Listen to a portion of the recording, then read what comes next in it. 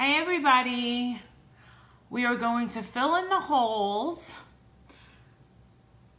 all the questions, comments that I'm seeing on my YouTube channels. On my YouTube uh, videos about the Melissa Schuman Henschel and Nick Carter. Hmm, okay, so don't say you didn't hear here first. So I'm gonna jump right into this. So I'm looking at a computer, an iPad, and I have my cell phone on hand and some notes. So what I'm gonna do is I'm gonna try and respond to some of the stuff because sometimes people are a little bit confused, but more people are watching, more people are asking questions. So I think that this deserves something. So I just wanted to say that I've made, I've made a lot of videos on this subject and I've lost a lot of subscribers because I've spent so much time on this. And I'm okay with that. But eventually I would like to get back to, you know, helping people with the life coaching thing and stuff like that. And just talking about people. But first, uh, I want to really finish what I started. And until this nightmare ends for Nick Carter, his family, and his band, I'm to keep on making these videos because the truth needs to come out. Because this has been a huge, enormous smear campaign against Nick Carter. And it looks like Melissa's getting really, really mouthy and tough with her words lately. She's being awfully brave right now. And so is her husband. And you know, I don't need to be on Twitter to see all this stuff. It all gets screenshot. There's nothing that could be hid from me. There's nothing that could be hid from anyone, really. Um, it's not a big deal, but there's a lot of lies and they have to be exposed. And I'm sorry, like, there's a lot of girls that are just like, oh, can I join the His Side 2 group? Uh, well, it's a little too late, number one. Number two, just keep using the hashtag and we invite you to our family. The most important thing is I don't ask you to, I don't, I'm not gonna ask you to do anything. If you wanna share the videos, I think it's great. I know that there's people next, uh, very near and dear to the Backstreet Boys that want to share my videos but they can't. So, one thing that you can spread that is very important is the blog. That is the most valuable thing to Nick Carter, his family, and I'm going to say his publicist, everything. That has been very valuable and very key. I asked you all to keep spreading that blog to the press, to every magazine, sleazy tabloid, every media outlet that you can so that they can see where Melissa Schuman is lying, where Melissa Schuman is hiding everything. Okay? Now, this is not going to be the O.J. Simpson trial, Melissa Schuman. This is just going to go away. You want this to be the whole... What do you want? You want to have him arrested? Have him put in jail on trial? Like, come on. The O.J. trial, Melissa versus Nick, is not going to happen. That's what you want. Let's get to Melissa Schuman tried to capitalize off of Me Too. She thought that her stuff was far too in the past for everyone to find. That is true. Thank you, Tiffany. Um, yes, they did whatever his side two was able to find, a lot of them did their own digging. And then, of course, we also have someone in the His Side 2 group that was a big Dream fan back in the day. So that goes back to why didn't bandmates support Melissa Schuman?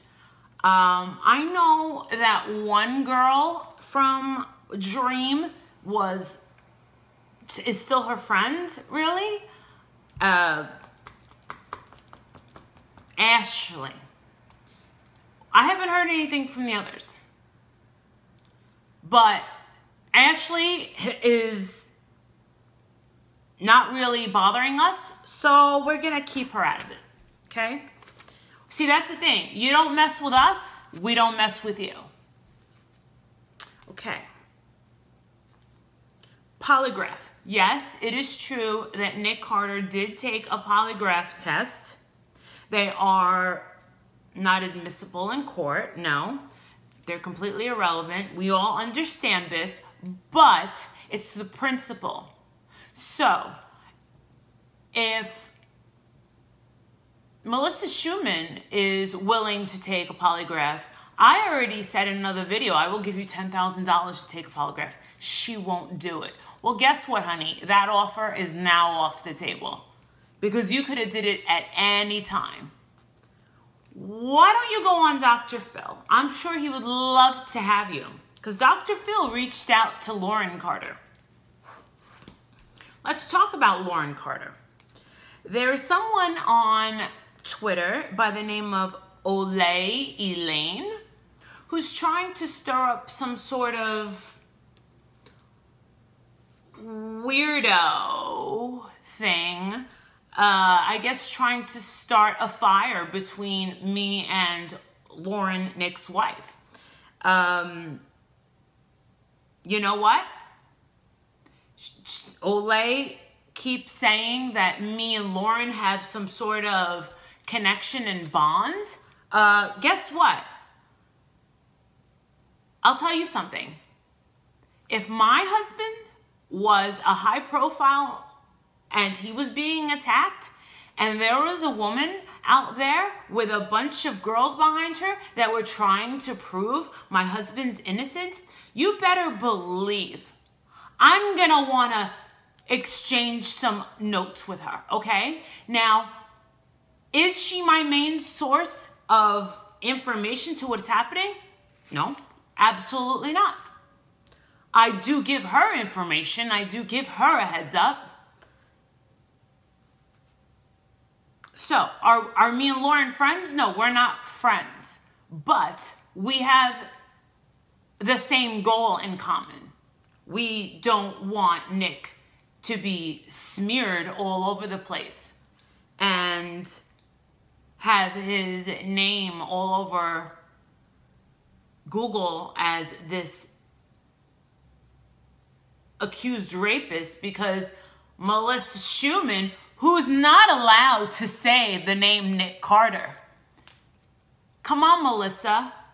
Go on Twitter and say Nick Carter. Stop saying my abuser and acting as if you were in a relationship with him for years. Your relationship with Nick Carter was a bad one night stand for you?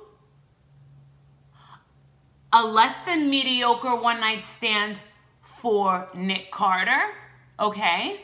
But in your head, I'm not alone in saying this. In your head, I believe that you have been obsessively in love with this boy for all of these years. That's why you could not stay away from his Twitter, from everything. That's why you can't stay away from his videos. We have um, piled high of screenshots of you praising him. Does your husband even know that? Eh, what does he care? You know what? Brandon Henschel, he's still knowing, believing the story about Nick Carter raped me. That's why I'm not a virgin. Marry me so we can be the golden couple. I'm Melissa Schuman lead singer of Dream. I went out on my own to pursue my own.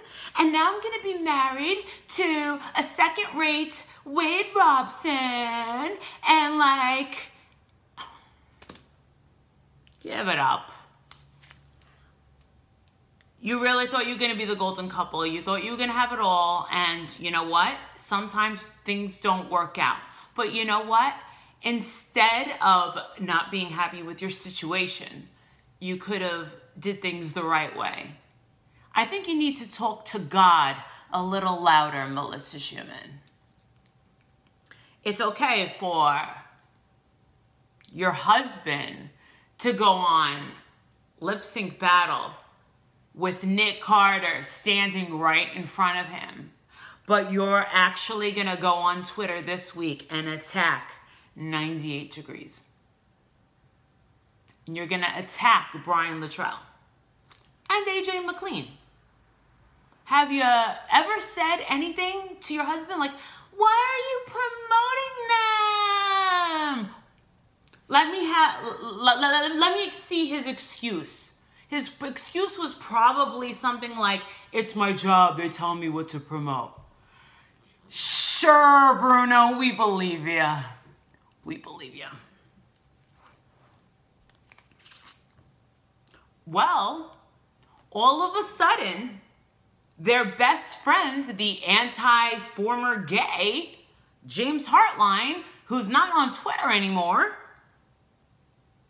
guess what? Melissa is denouncing him on Twitter. James says what he wants. James, ba ba ba, she'll never, ever, ever admit that they were friends. Did you notice that?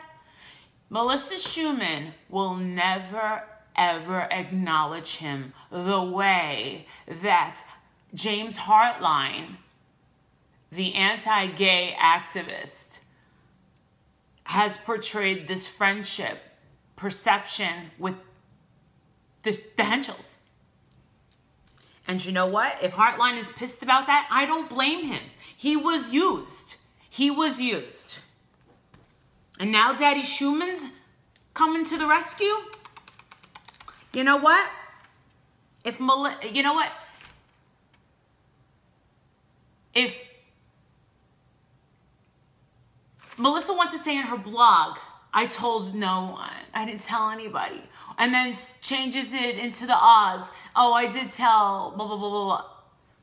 Okay, now the whole thing is, is I told everyone. Well, you know what? If you told everyone, then that makes Bruno, your husband, Brandon, and Daddy Schuman a really bad husband and a really bad dad.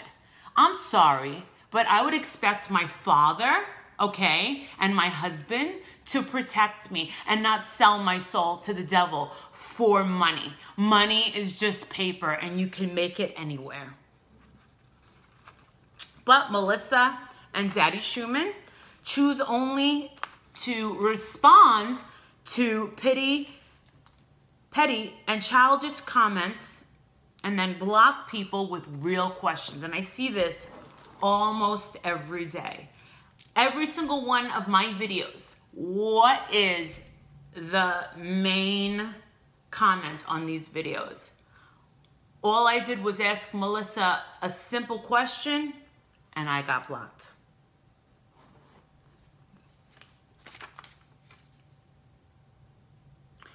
She was advised to take a rape kit. I thought she didn't tell anybody. But then she says she did. And Rachel's mom says you got to go and take a rape kit. Why was she afraid to take a rape kit? Because they would know that it wasn't, you know. Look into what rape kits really are. They're, they are not cool. They are not fun. I personally have never had one, but we do have a nurse that is in the His 2 group that did work with trauma patients, trauma with women, and she brings up a lot of valid points, and she's been helping us the whole nine months. Not once in Melissa's blog does she talk about how she bled. I don't know about you girls. I don't know if we're all different, but did I bleed when I lost my virginity? I did. It wasn't like massive all over the place, but I did. Um, and it was painful for me. the first time and the second time.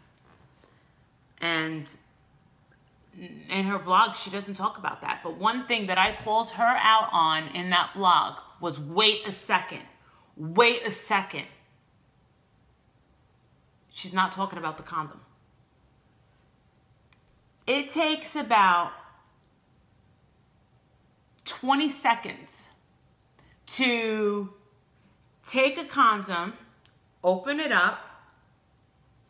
He has to get up off of Melissa, pinch it, roll it on. He'll probably kiss her first, and then, what is that inside me? Okay. When I say I don't like my intelligence insulted, this is the shit that I'm talking about. What is that inside me? She saw him putting on the condom. Nick likes the lights on. He doesn't like the lights off. I remember that. I believe in her blog, she said that she turned off the light because she didn't want to see what was happening. Mm-mm. Moving room to room? I don't know about you, but when I heard Nick's version of what happened, to know that a virgin is giving a BJ and moaning in a bathroom, that's not how a girl loses her virginity. Do you get what I'm saying? Like, that's not how it goes. She should have told him that she was a virgin. He didn't know, according to what he's saying. He didn't know. She never mentioned that she was a virgin or that she wanted to wait till marriage. I'm just saying, lies all over the place. Lies. Who's lying, Nick or Melissa? Who's lying? Nick gave one statement to the press. How many times did Melissa? Now, this is all about your credibility. How many lies, lies upon lies, have we caught her in? Too many to count.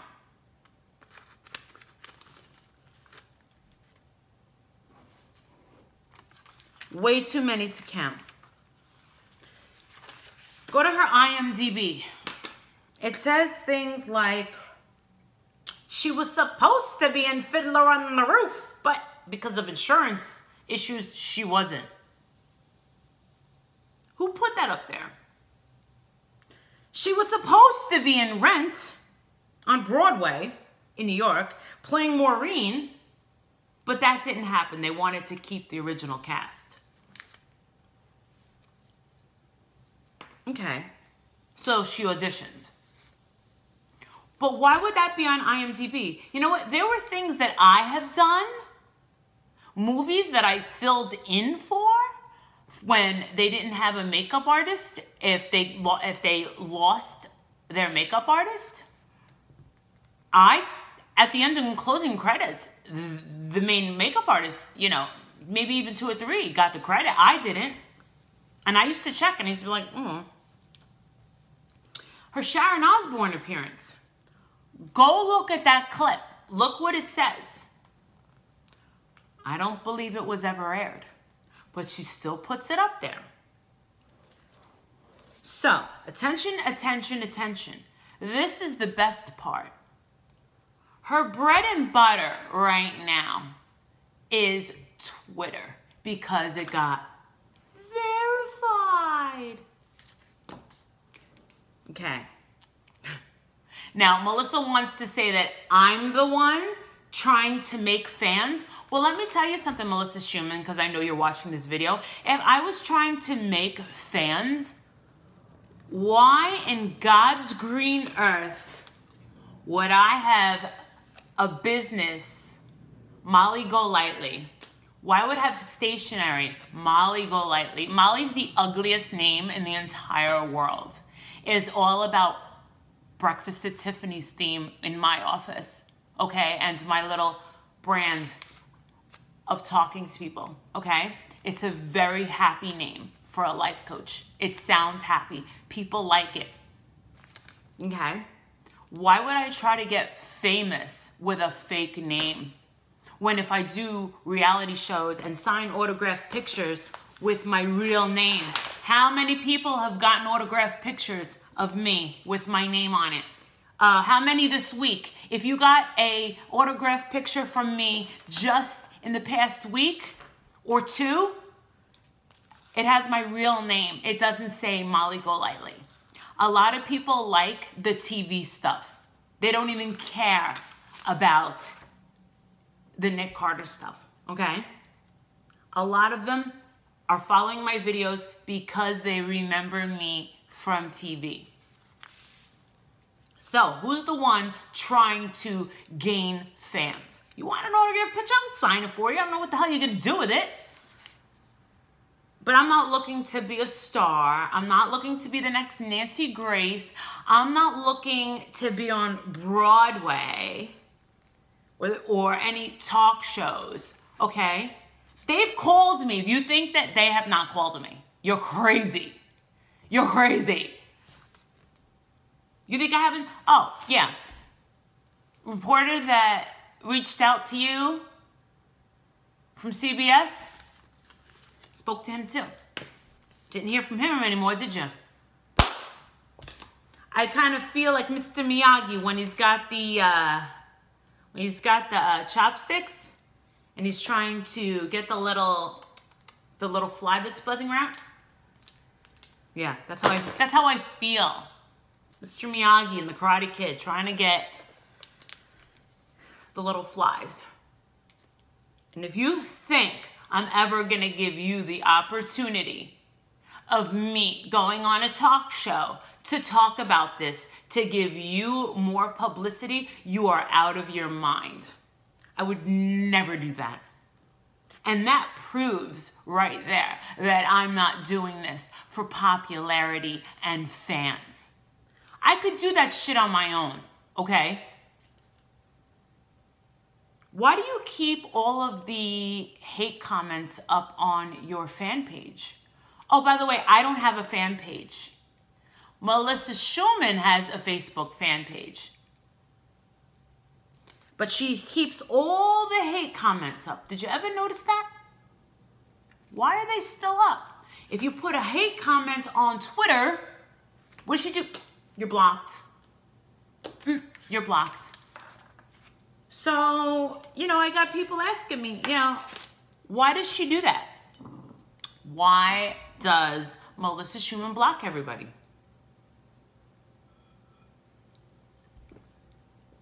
Because Melissa does not like the fact that you're calling her out on the truth.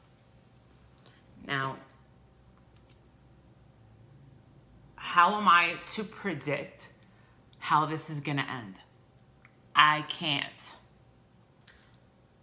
I don't believe that there is anything to investigate with Nick Carter. I think there is so much more solid proof. And you are so lucky, girl, that you deleted a lot of stuff.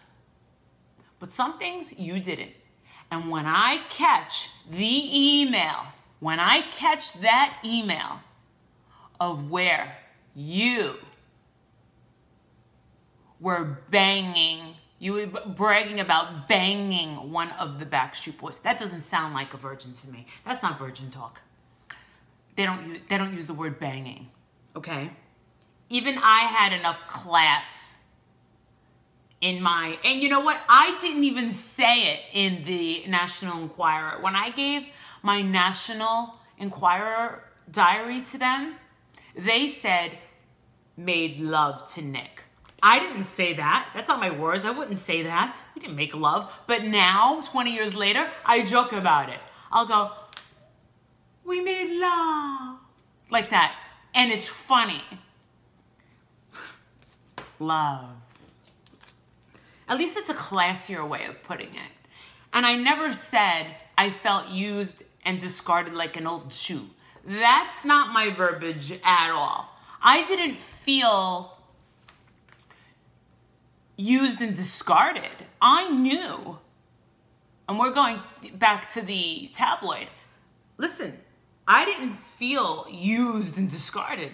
How I felt was disappointed that Nick, Howie, and AJ would choose to believe Marie's lies and craziness, knowing that she was the one following them around city to city, city to city. They didn't find out until way after when I told Howie she was going to say that she was freaking pregnant. I did nothing to Nick. I did nothing to Nick. I was never bashing him. All I was trying to do was tell Marie, listen, you're taking this shit way too personal. And she went to go sell that story to the National Enquirer. When I got the heads up, I called them and went, mine. And when they came back and said, eh, it's not that much of a story, because the way that she was putting it was she was tossed around and blah, blah, blah. I don't know because the woman that did that story said she could not tell me. But I did agree to let them say that we were supposed to meet them around the corner at the McDonald's in Times Square and go back, you know, and go shopping with them and blah, blah, blah. We did that. I know that we were supposed to, um, wait, what happened? We were supposed to go to a movie. I think AJ said, let's go to a movie. Something happened and we didn't go because uh, I don't know what the hell happened, but something happened, but we were around. And we were supposed to go to, to the movie. And Marie was was really like, oh my God, we have to go to this movie with them. And I'm like, God, God, like who cares about a movie? Who cares about like going shopping? Like, let's like just hang out and be chill. Like, why do we have to be in the public? Like, I was totally fine, you know, with giving AJ a bath. I was dressed and he was in the bathtub and I had the soap and I was just talking to him. We were talking about how I was just at the VMAs and how Janet Jackson had given me and my friends tickets. And He was like, oh my God, that's so cool. I was telling him, oh my God, you have the prettiest eyelashes. I told him, God, what else was I telling him? I was like, oh, that's the, that's when he said you should come and come meet us in Canada. And I said, I don't like you that much. He goes, oh, okay. Just like that.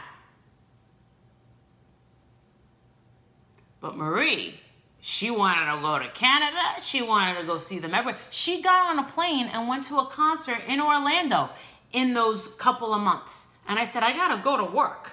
I spent way too much time sneaking around the Millennium Broadway Hotel, going up and down and blah, blah, blah like,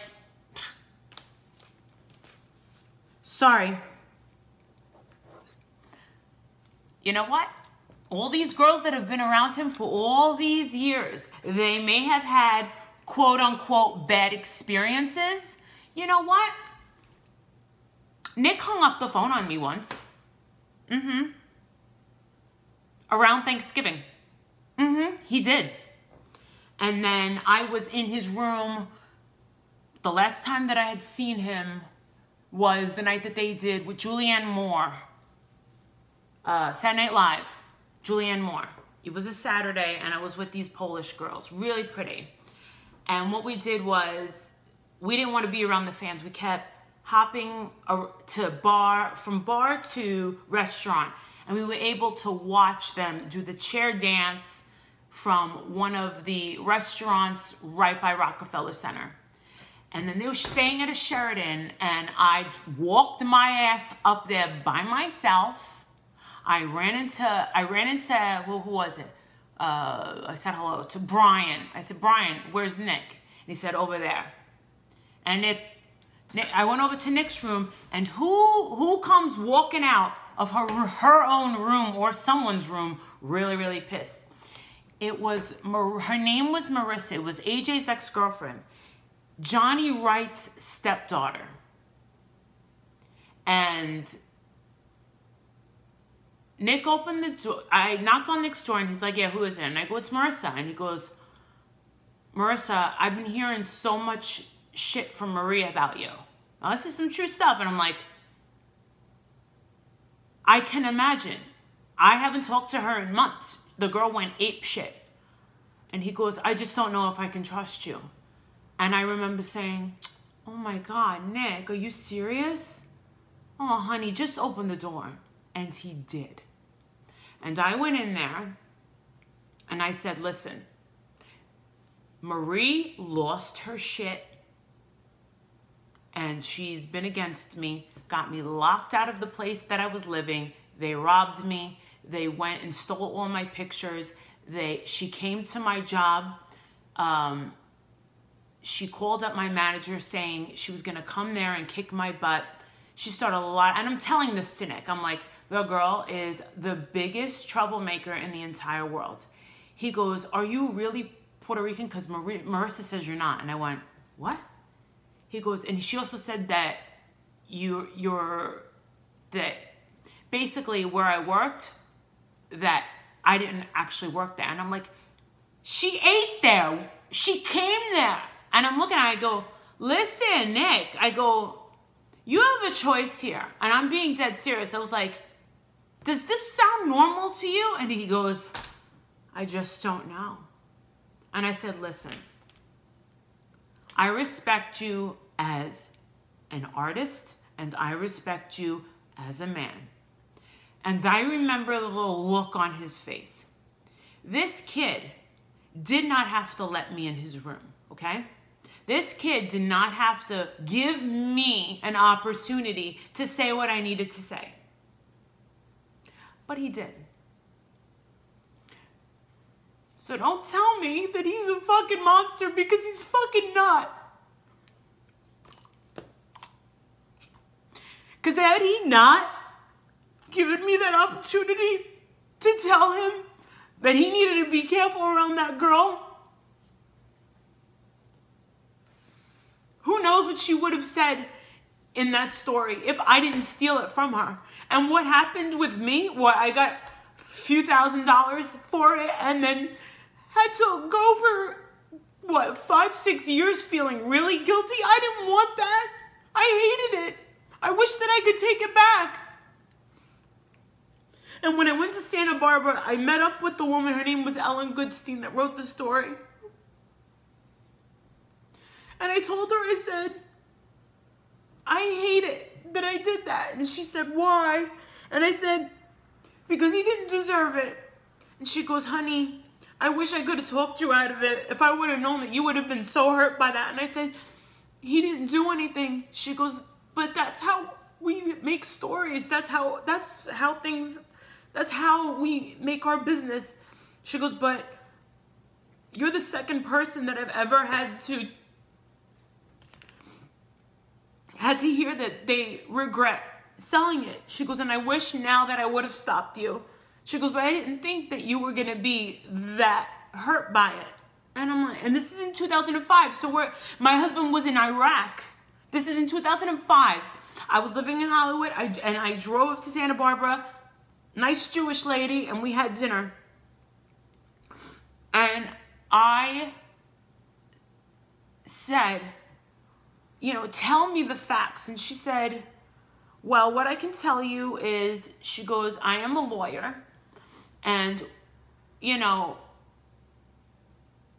we had to really look into your story and make sure you know that he was under that name Jose Canseco when you said that he was we looked at those pictures of the room and and matched them with the clothes she goes everything that you said she goes we had to make sure that we were putting the truth in that you were there she goes but the rest I had to make it sound more, what do you call it? And she said, Marissa, don't worry, you did not hurt their career. She goes, we don't intentionally try to ruin careers. That's what she said. And I said, she said, we did reach out to them. I said, and what happened? She goes, well, we're supposed to, we have to send out something to alert the PR or something like that. She said, she goes, and what we got back was, Alexander James McLean and Nickolas Gene Carter do not confirm or deny their relations with Marissa Gonzalez. That's what she said. So, don't sit there and tell me that this guy is some sort of monster. Okay? And if you think that this guy, Nick Carter, is going to sit there and be like, okay, so my version of the story is, oh yeah, and then she blah, blah, blah. He's not going to do that. Are you kidding me? You think he's going to go on TV and say something like that? No. Why? Why did I do it? Why was I given all the notes? Why was I? Who's been speaking for him? Me. And he has a paid publicist, a guy. And he has the blog. It's and I hope that it's useful to him. I believe it is. Cuz that's very important stuff. That blog. It's got all the truth. And you know what? There's a lot of fans that are saying that they thank me for putting in these personal, you know, antidotes into my videos of my interactions with him. You know what? It was very long ago. And I do, I'm not, I wasn't a person that thought about this shit on a daily basis, okay? You have to remember that. Like, I don't. Only any times over the years that I ever really thought about Backstreet Boys is if they came up, if I was, if I heard them on an overhead speaker, if something just popped up, I would think about them, but I wouldn't go, ah. You know? I never said that their music is bad. I just prefer a different genre of music. Period. So, you know, it all goes back to sources. You know what? This girl really wants to, this Olay Elaine cause a rift between me and Nick Carter's wife. Well, I don't think you're going to get far with that because, you know what? She's not stupid we know who's behind that Olay Elaine. We're not stupid people. So, the Henschels, the Schumans can call anyone with the hashtag his side two trolls, but who are the real trolls? Who are the real trolls? Okay? We'll see how this ends up. Thank you for watching.